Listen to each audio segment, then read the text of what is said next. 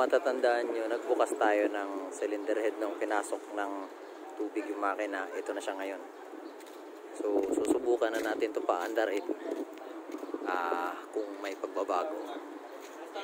Oh, ito. Ito yung 6M70 na pinasok ng tubig yung makina. Nagpapandar tayo ngayon.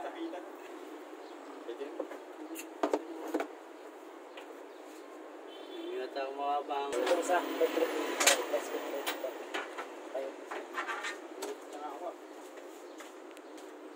Mobile ba yung kapag nyo baka tamaan pa. Okay, start! Oo, nabangal ko yung... Oh, start mo!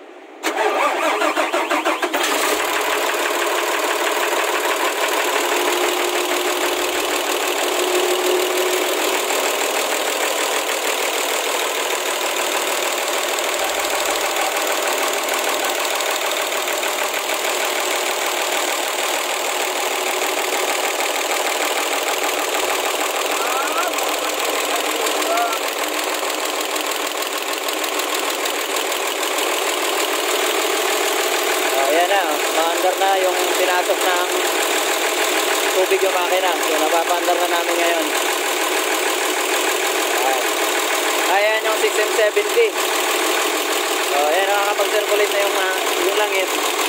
Pero kailangan yung may chain soil, chain soil ulit.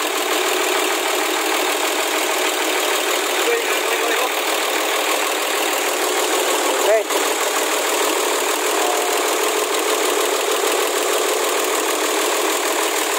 Eh, mga panso. Ayan, ah. Nakikita na naman sa vlog natin. Vlog. Okay. Oh, satisfy na sila, oh. Ayan. Ayan. Oh.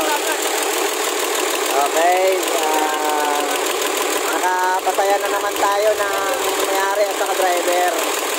So, abangan nyo na lang sa YouTube natin. Captain Mechanic. Makikita nyo lahat yan sa Captain Mechanic. Oh, yan. Nakapataya na naman kami.